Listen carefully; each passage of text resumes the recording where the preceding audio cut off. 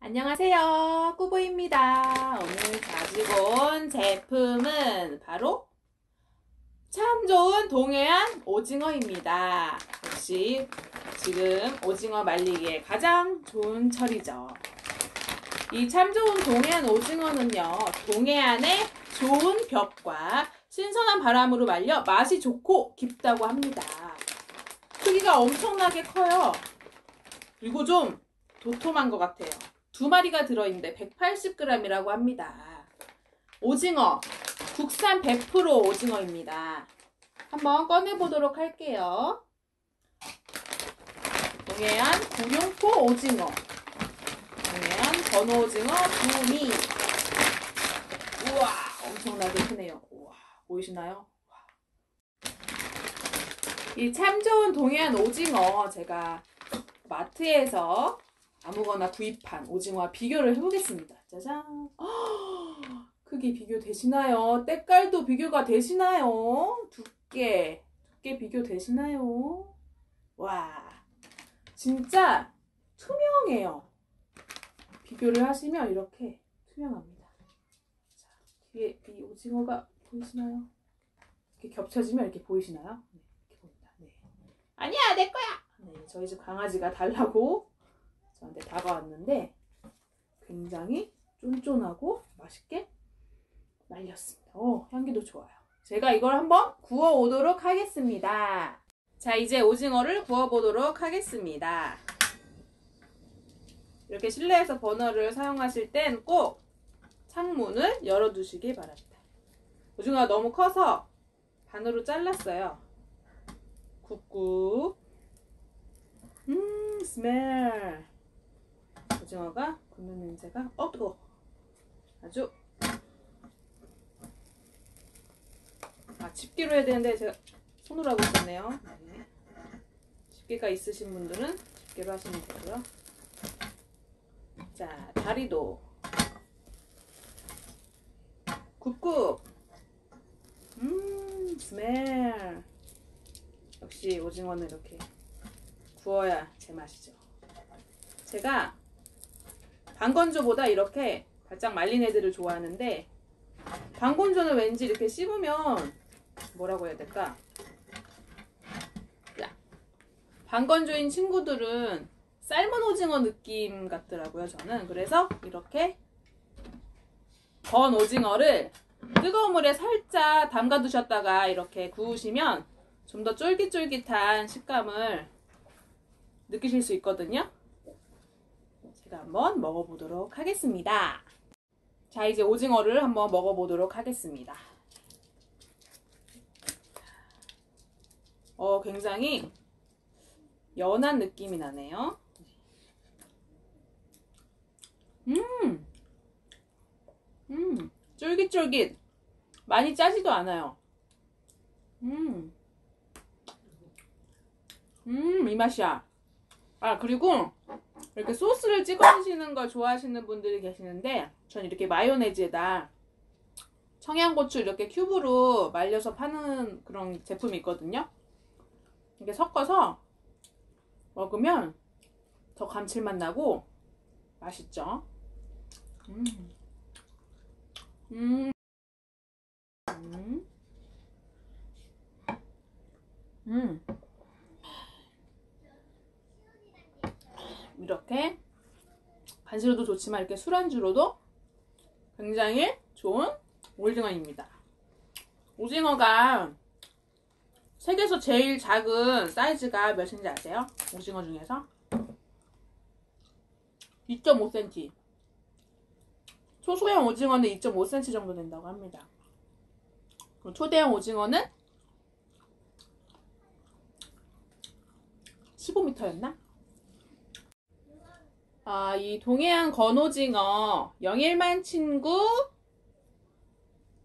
포항시 인증 브랜드라고 하네요. 포항 영일만 친구 오징어. 이 오징어에 대해 살짝 소개를 하자면 해풍의 정석껏 말린 100% 국내산이고요. 그리고 새벽바다에서 갓 잡아 올린 당일발이 오징어라고 합니다. 그리고 해풍에 자연 건조를 시켰고요. 오호. 60여 년간 현장에서 일하고 계시는 황보기 회장님께서 직접 말리시고 판매를 하시는 오징어라고 합니다. 음, 굉장히 쫄깃쫄깃해요. 음, 그래서 건오징어가 더 맛있습니다. 그리고 딱 하면은 음, 이렇게 쉽게 잘리죠. 음, 쫀득쫀득. 매콤한 맛 좋아하시는 분들이 이렇게 청양고추 그냥 넣어서 수저로 확 저으면 잘 깨지는데 대충 해서 먹도록 하겠습니다. 이거는 음. 이게 많이 씹는 운동이 턱에도 좋고 또 뇌 발달에도 좋다고 하죠. 우리 어린 친구들도 오징어 많이 먹어주면 좋겠습니다. 이 오징어가 소고기보다 단백질이 풍부하다 그래요. 타우린도 풍부하고 그래서 음 타우린은 타우린이 풍부한 음식은 어떨 때 먹어야 되죠? 힘이 없을 때 먹어야 되겠죠? 균이 날 수 있도록 타우린 많은 오징어를 드시면 좋습니다. 아주. 음, 오징어에 대해서 또 무슨 소개를 해드리면 좋을까? 음, 이 오징어 한 마리의 칼로리는 이게 180g에 두 마리였잖아요. 이게 100g에 한 330칼로리 정도 된다고 하는데요.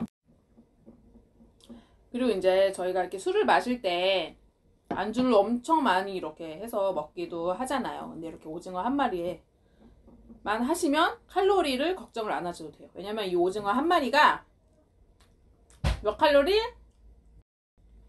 얘는 한 마리가 90g이니까 300칼로리. 한 마리 다 드셔도 300칼로리밖에 하지 않아요. 그래서 다이어트 음식으로도 좋을 것 같아요. 왜냐면 이분 계속 씹고 있는데 칼로리가 많이 안 들어가니까 우리의 뇌, 뇌는? 음, 그래 계속 밥 먹네? 운동해야지. 하면서 몸에서 운동을 하겠죠. 이 칼로리를 소모하기 위해서. 계속 먹고 있다고 생각을 하니까. 근데 이 씹는 거에 비해서 들어가는 칼로리가 적기 때문에 이 오징어가 다이어트 식품으로도 굉장히 좋다고 해요 좋은 오징어를 고르는 방법. 잡아서 그날 바로 말린 오징어와 아니면 냉동실에 꽁꽁 얼려두었다가 말린 오징어 이렇게 두 가지가 있다고 해요. 판매 판매되고 있는 그 오징어들 중에 어떻게 냉동실에 꽁꽁 얼렸다가 말린 애는 어떨까요? 수분기도 없고 맛도 좀 덜하고 새벽에 잡자마자 바로 말리기 때문에 맛이 진짜 상당히 좋습니다. 바다에 온 것 같아요. 음. 이렇게 마요네즈 찍어 먹어도 맛있고 또 자극적인 걸 좋아하시는 분들은 고추장에 찍어 드셔도 맛있죠. 음. 음.